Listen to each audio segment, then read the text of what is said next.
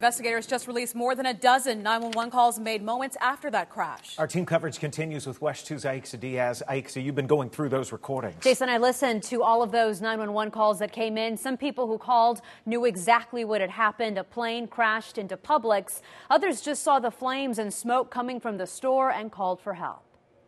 This is 911. Everybody out of there. Hello?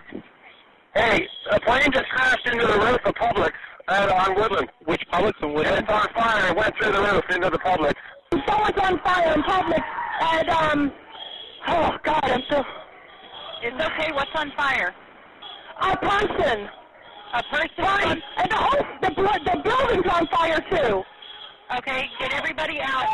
Okay, we gotta go. Another caller says she heard the engine sputtering and saw the plane go down nose first. You can listen to all of the 911 calls on our website, wesh.com.